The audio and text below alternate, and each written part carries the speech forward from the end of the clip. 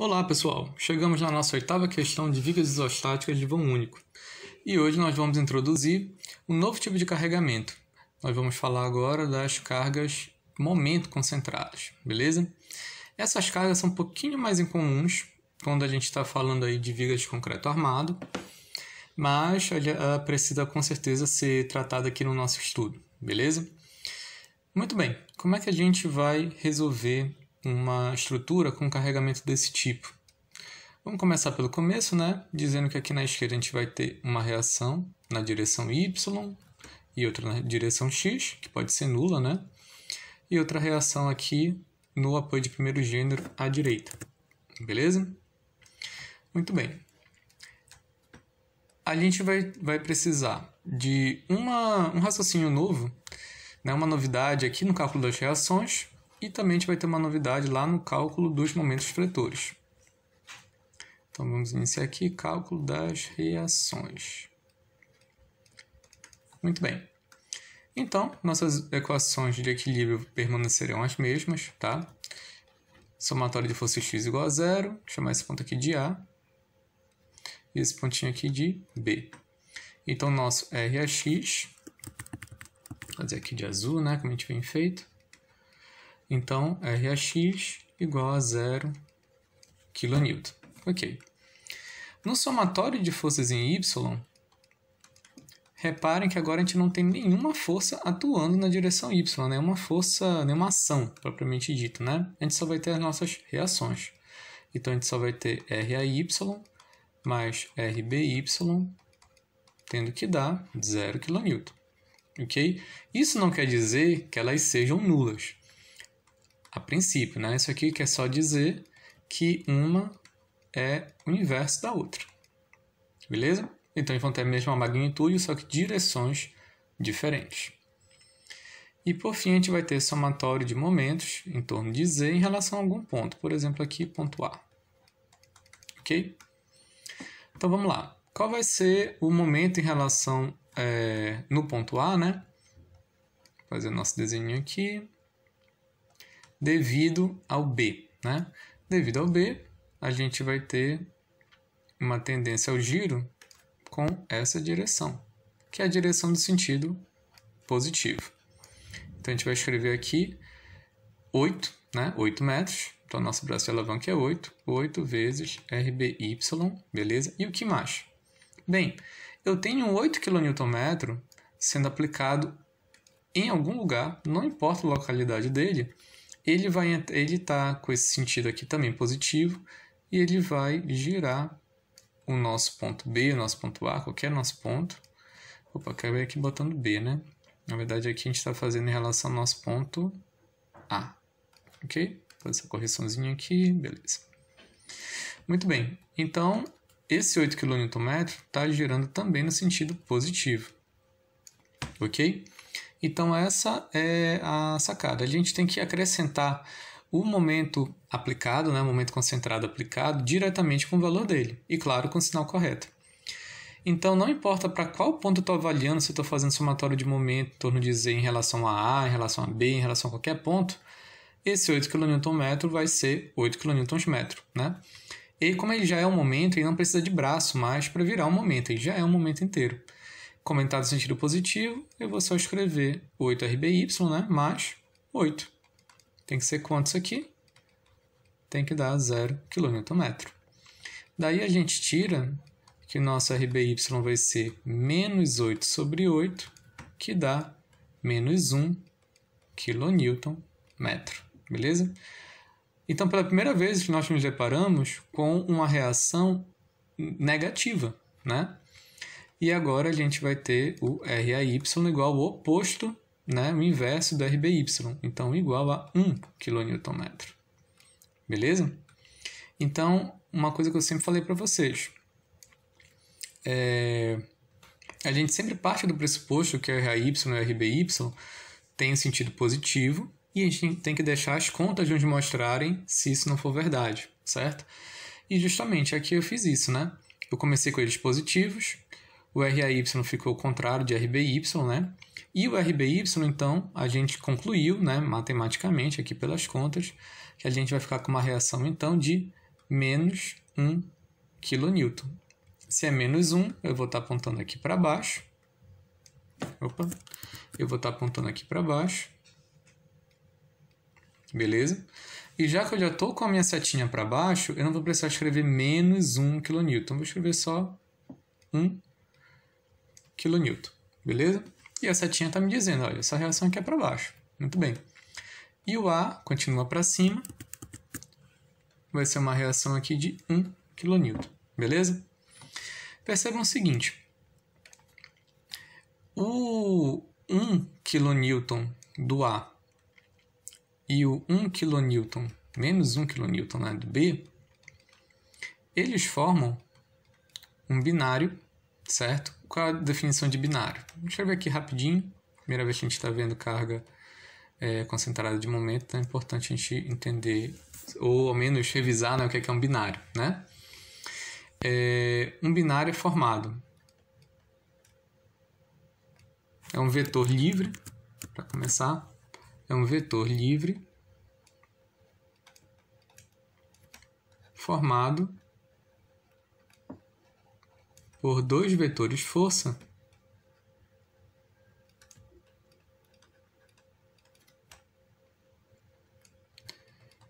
De mesma magnitude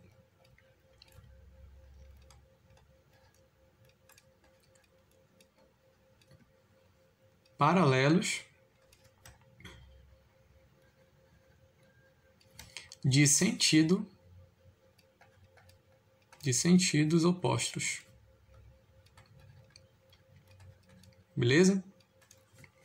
Então, todas essas palavrinhas aqui são importantes para a gente entender é, o que é que vem a ser um binário. Né? Então, a gente tem que ter mesma magnitude, eles têm que ser paralelos, ou seja, a mesma direção, só que sentidos opostos. Então, como eu venho falando para vocês, a gente tem essas forças aqui na direção y, beleza? Só que aqui a gente vai ter o sentido contrário de um ao outro, né? Então, perceba que esses vetores estão a uma distância de quanto? Eles estão a uma distância de 8 metros. Logo, o binário gerado por esse, por, por esse par de, de vetores força, né? o momento gerados aqui por, gerado aqui por eles vai ser igual a quanto? O momento gerado por eles vai ser igual a 1 kN vezes 8 metros, que dá 8 kN metro, beleza? No caso aqui, é, com essa direção, a gente vai ter menos 8 kN metro, ok? Então, 8 kN metro com menos 8 kN metro, zero. Então, a gente está zerando aqui nosso momento fletor e está tudo certinho, beleza? É, esse assunto de binário geralmente é introduzido lá quando a gente está estudando estática, né? Lá em mecânica de sólidos 1. É, mas é interessante a gente fazer essa revisãozinha aí para a gente entender o que é está acontecendo agora, beleza? Então, vou passar aqui uma, uma retinha, beleza? Só para a gente dar uma lembrada. Agora vamos ver a questão dos a questão dos esforços, né, das forças internas.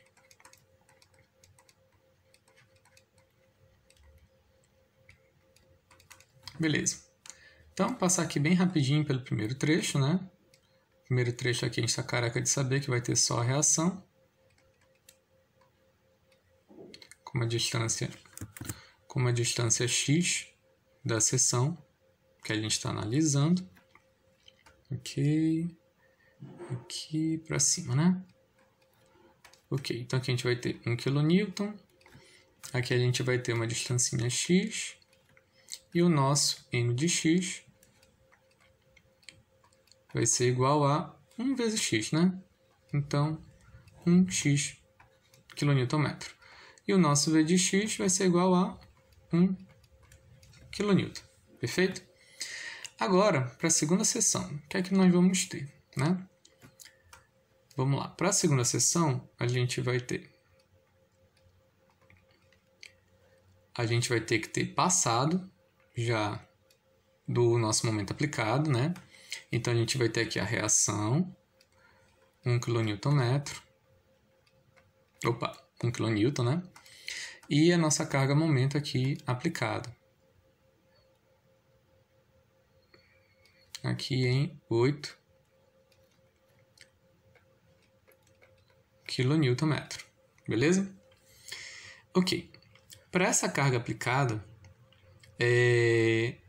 eu tenho um macetezinho que nos ajuda a identificar o que é que tá, como é que ela está agindo nessa sessão, beleza? Qual é esse macete? É, a gente vai redesenhar essa carga bem aqui em cima, tá certo? Como a gente já viu, não precisa de braço e alavanca, né? Então, vou redesenhar ela aqui em cima e um pouco maior, tá? Um pouquinho maior aqui, puxando ela daqui assim, beleza? Ok. Vamos reparar aqui o seguinte.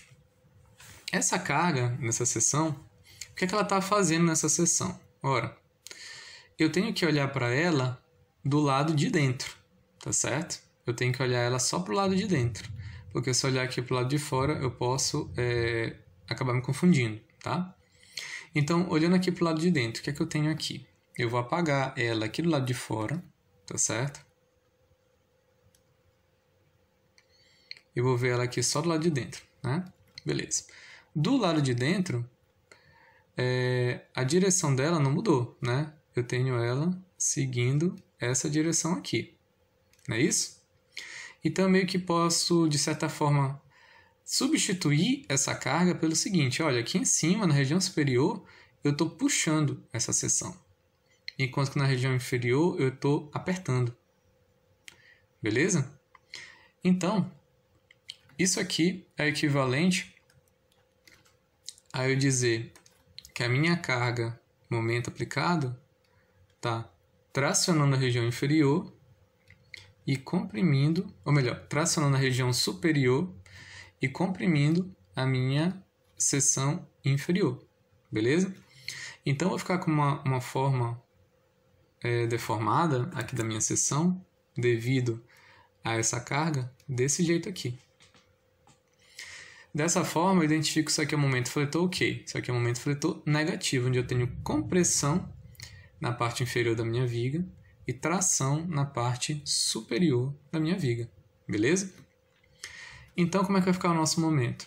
Opa, nossa equação do momento. m de x devido ao 1 é o nosso x, né? 1 vezes x.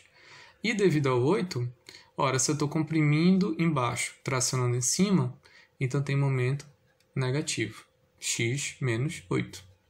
E o nosso v de x não vai mudar. Ok? Ficou claro esse esquema aqui? Então, eu pego a minha carga aqui distribuída, redesenho ela aqui em cima da minha seção, depois olho só para um lado e vejo e meio que divido em vetores é a influência que ela está gerando aqui na minha seção. Aí eu vou dividir em dois vetores, um em cima e embaixo. Aqui, nesse caso, né, a gente ficou com o, uma tração na região superior, né? Aqui em cima a gente está aqui com uma tração. E aqui embaixo com uma compressão. Então, tração em cima e compressão embaixo, momento fletor negativo. Perfeito? Muito bem. Essa nossa primeira função aqui, região 1, região 1. E aqui, região 2, região 2. Aqui para um x entre 0 e 3 metros. Para quem estiver achando um pouquinho rápido, um pouquinho confuso, é, eu sugiro ver umas aulas anteriores, tá certo? E aqui a gente tem um x até 8 metros. Beleza? Agora, a gente vai traçar o nosso diagrama de momento aqui e nosso diagrama de cortante aqui, tá? Eu não vou fazer todas aquelas contas que usualmente a gente faz, beleza? Porque as funções são muito simples, tá? Então eu vou apenas marcar aqui o nosso 3 metros, algo mais ou menos aqui, beleza? Então aqui a gente tem 3 metros, 3 metros. Ok. Vamos lá, nosso m de x. Nosso m de x na primeira região, ele é uma função linear, igual a 1 vezes x. Então ele vai partir de zero e quando eu andar 3 metros, eu vou estar atingindo quanto? 1 vezes 3, 3. Então, eu vou ter atingido aqui 3 kNm. Perfeito? Ok. Isso andando da esquerda para a direita, né? Claro, a gente vai continuar andando aqui da esquerda para a direita. Beleza. O que é que ocorre?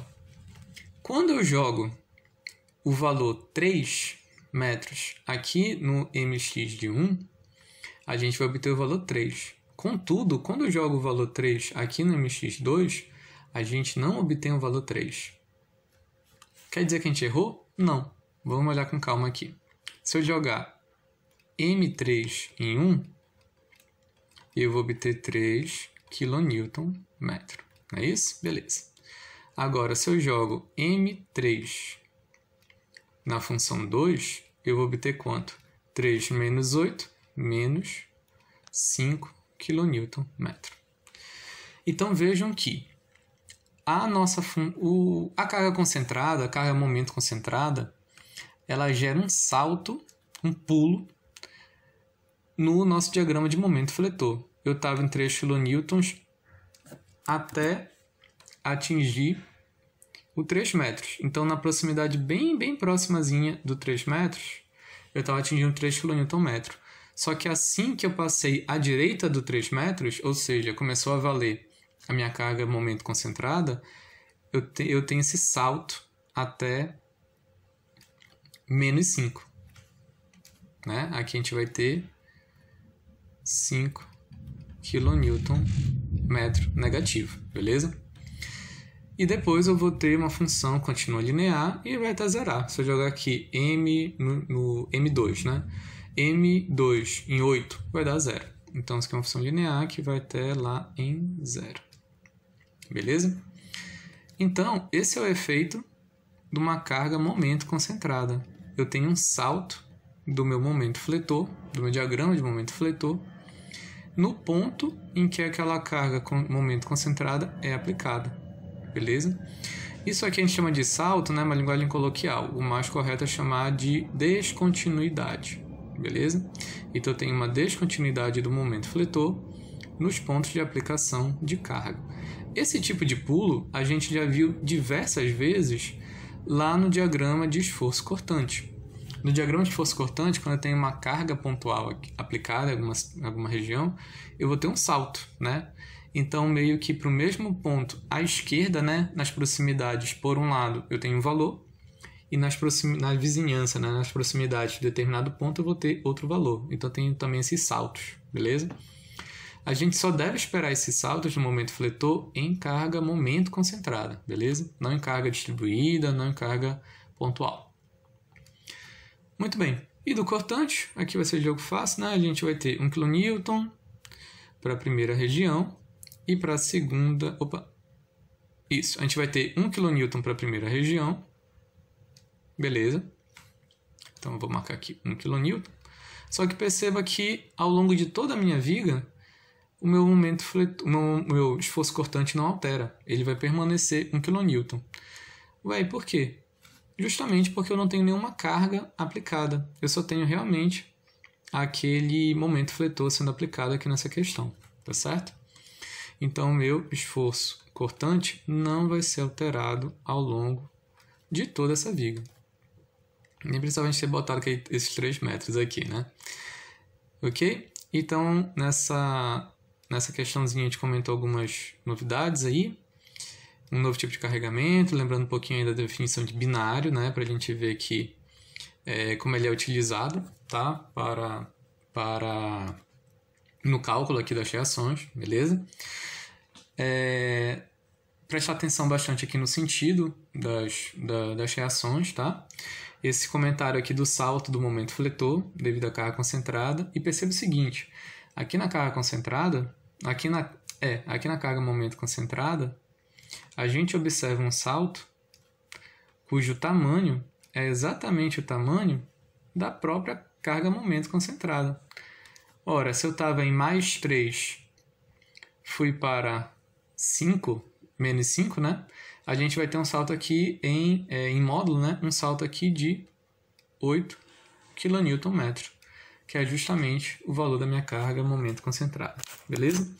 Na próxima questão, a gente vai fazer com algumas cargas momento concentrada é, sendo aplicadas na mesma viga. Depois misturar um pouquinho carga com carga, carga concentrada de momento com é, carga distribuída e ver como é que a viga se comporta, tá certo?